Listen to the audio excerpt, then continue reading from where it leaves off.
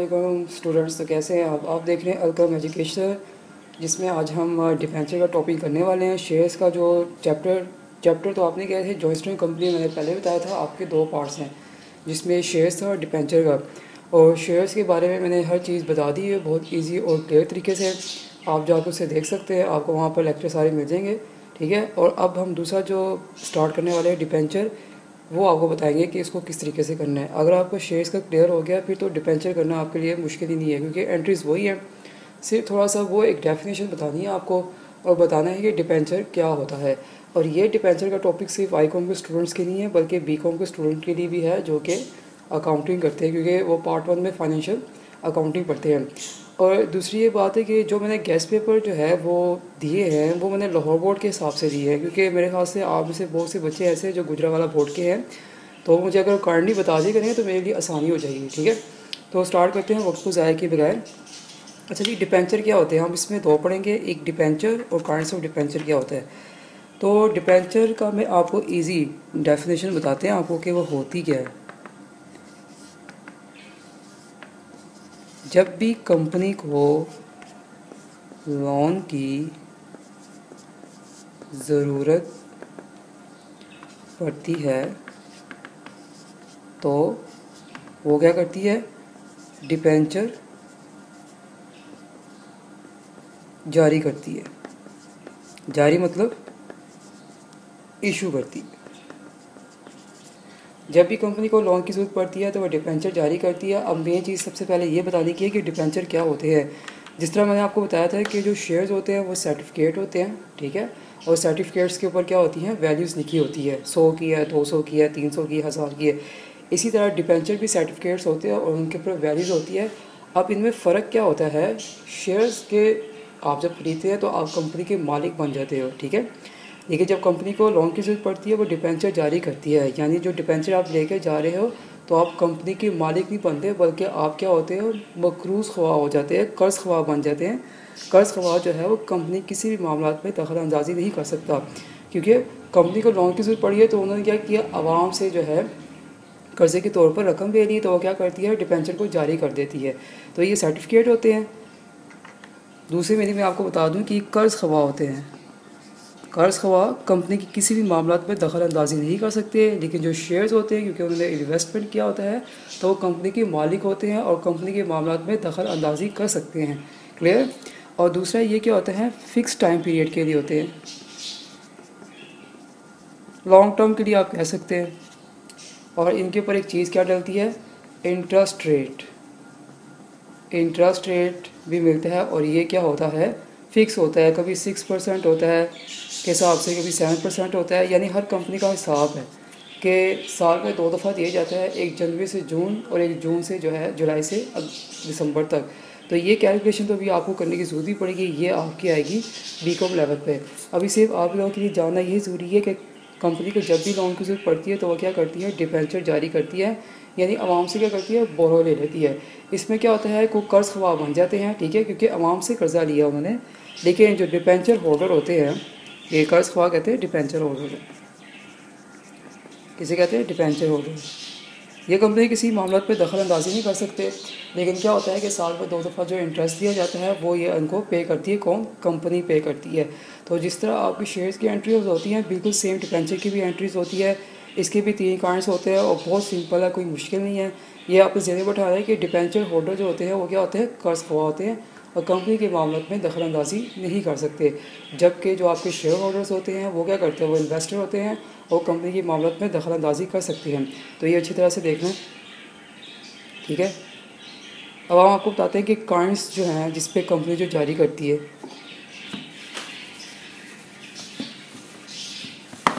Company तीन तरीके से डिफेंसर जारी करती है। वो जो मैंने आपको बताया था।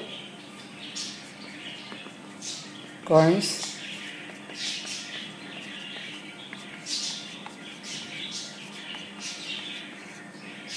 ये नंबर वन की पहले आपके पास है।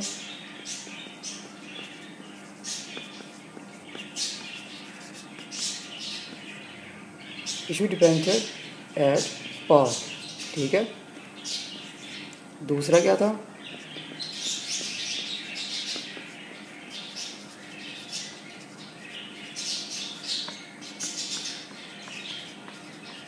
डिस्काउंट ठीक है? तो तीसरा मेरे पास क्या था?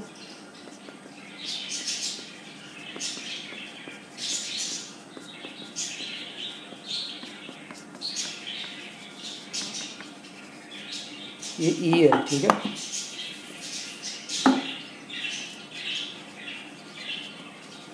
ये जी, ये मेरे पास दूसरा और ये तीसरा।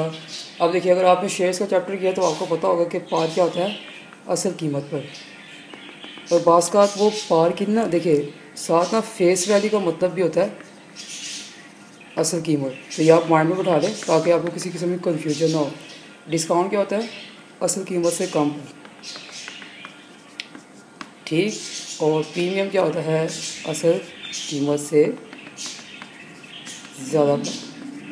अब वही लॉजिक है, वही चीज़ें हैं, कुछ है ही नहीं उसमें कि मसला कि आपको बताया जाए कि क्या करना है। आप देखिए, जब पार का वो पूछेगा तो हमने वही एंट्री पास करनी है और जब वो डिस्काउंट का पूछेगा तो हमने वो एंट्री पास करनी है। जब वो प्रीमियम कहेगा तो हमने वो एंट्री पास करनी है। सिर्फ़ जहन में एक दफ़ा मैं बता दूँ आपको कि शेयर्स जो होते हैं, वो इन्वेस्टर होते हैं और जो पैसा लगाता है वो कंपनी के मामलों में दखल अंदाजी कर सकते हैं। लेकिन जो डिपेंचर होते हैं डिपेंचर होल्डर वो इन्वेस्टर नहीं होते हैं, वो क्या होते हैं? वो हुआ होते हैं क्योंकि कंपनी को जब लोन की ज़रूरत पड़ती है तो वो सर्टिफिकेट जारी करती है, ठीक है? बोरो लेती है, यानी आवाम से बोरो लेती है। तो आपके जो डिपेंचर होल्डर है जो लेके जा रहे हैं, वो कर्ज ख्वाब बन जाते हैं, ठीक है? फिर क्या होता है, ये कंपनी के मामले में दखलंदाजी नहीं कर सकते। Same like a procedure of bonds bonds आपने देखे ना, आप खरीदते हो, फिर उसकी बाद कुरंदाजी होती है। तो सर्टिफिकेट भी ये डिपेंचर के बिल्कुल सेम ही होते हैं। तो उम्मीद है कि यहाँ तक आपको क्लियर हो गया होगा।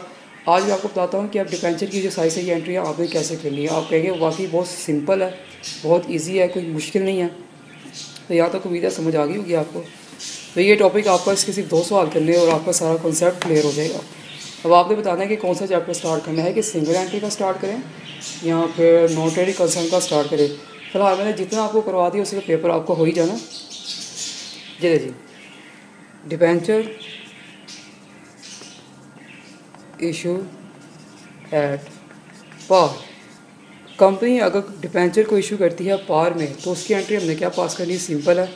ये देखिए बैंक अकाउंट अगर तो वो बताती है कि इंटरेस्ट रेट भी है तो आप सिर्फ़ छोटा सा इसके साथ देख देंगे सिक्स परसेंट ही मैंने एग्ज़ाम्पल दिए डिपेंचर ठीक है अकाउंट ये जी, पहली एंट्री सिंपल है। और इसके नीचे नरेशन जो है being the debenture issued at par ये दे परफॉर्मेंस सिंपल ऐसी है सेम जैसे आपको शेयर से बताना सिखाया था, इसका भी बिल्कुल वैसे ही है। देखिए जी, पहली एंट्री जब भी पास करनी है आपने डिपेंचर की पार की। अब देखिए, अगर शेयर का होता तो आप क्या करते? हैं तो डिपेंचर की जगह आप यहाँ पे लिखते हैं शेयर एप्लीकेशन अकाउंट शेयर्स में ये इंटरेस्ट का कोई चक्कर नहीं होता है लेकिन डिपेंचर में इंटरेस्ट का चक्कर होता है। तो ये पहली एंट्री आपको पास करनी है। पहले मैं आपको सादा एंट्री बता रहा हूँ, फिर आपको रकमों के साथ बताऊँगा, आपके लिए ज़्यादा ईजी हो जाएगी, ठीक है? उम्मीद है कि यहाँ तक आपका क्लियर हो गया होगा। अब चलते हैं दूसरी एंट्री पे। अगर कंपनी इशू कर रही है डिपेंचर एट डिस्काउंट पे। तो उस सूरत में क्या होगा?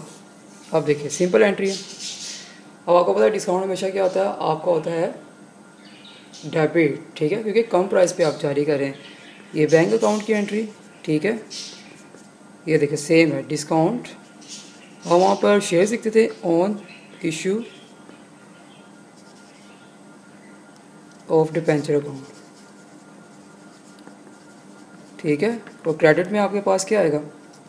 यही सिक्स परसेंट डिपेंचर अकाउंट ये रहे, दो साइड आपकी हो जाएगी डेबिट और एक क्रेडिट अब इसमें अमाउंट कैसे पुट करनी है, मैं साथ बता दूँगा। नीचे आपने क्या लिखना है? Being the debenture issued at discount ये बहुत सिंपल है, कुछ भी नहीं ये दूसरी एंट्री आपकी। एक डेबिट और दूसरी क्रेडिट दो डेबिट और एक क्रेडिट क्योंकि डिस्काउंट का इसमें शो हो गया। ठीक है, यहाँ तो क्लियर हो गया। अब तीसरी एंट्री बताते हैं आपको।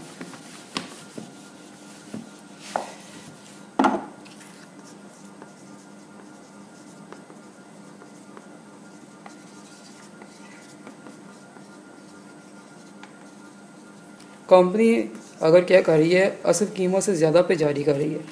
सिंपल आपने यहाँ पर क्या बताना है? ये देखिए बैंक अकाउंट आपका डेबिट ही होता है। ठीक है, उसके बाद है सिक्स परसेंट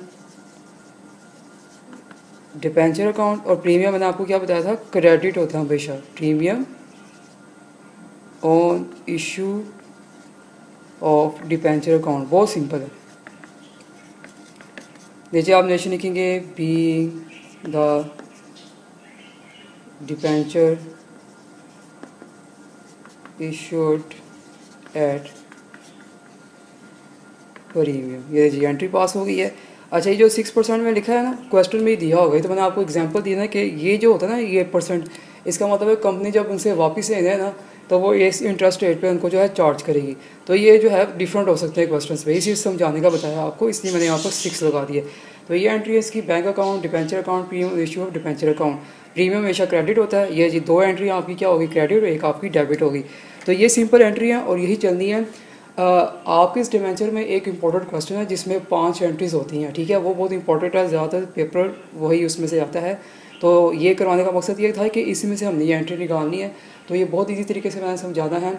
और इसका सवाल लाजमी आता है, क्योंकि इस चैप्टर से या तो शेयर्स का आएगा या तो डिपेंचर का आएगा, ठीक है? और दोनों के कॉन्सेप्ट मैंने कोशिश की है कि आपको क्लियर करवा दी जाए। फिर भी अगर किसी स्टूडेंट को कोई कन्फ्यूज़न हो तो हमें मेल कर सकता है। अगर आपको हमारी वीडियो पसंद आई है तो इसको लाइक कीजिएगा और लाइक के साथ साथ अगर आप हमारे इस चैनल पर न्यू है तो सब्सक्राइब कर लें। नीचे दिए बेल आइकन पर क्लिक करें ताकि जब भी नई वीडियो है तो उसकी नोटिफिकेशन आपको मिल सके। और काइंडली जो बच्चे गुजरावाला बोर्ड के हैं वो बता दिया करें, ठीक है? अब वो लाहौर बोर्ड को, मैंने तो अपनी तरफ़ से लाहौर बोर्ड की जारी की है, ठीक है? अगर आप गुजरावाले के बच्चे साथ बता दिए जाएँगे कि हम जो है, कि गुजरावाला बोर्ड से है तो मेरे लिए आसानी हो जाएगी गैस देने में, ठीक है? तो आप लोगों से यही रिक्वेस्ट है, ठीक है? और इस वीडियो को ज़्यादा से ज़्यादा लोगों में शेयर करें।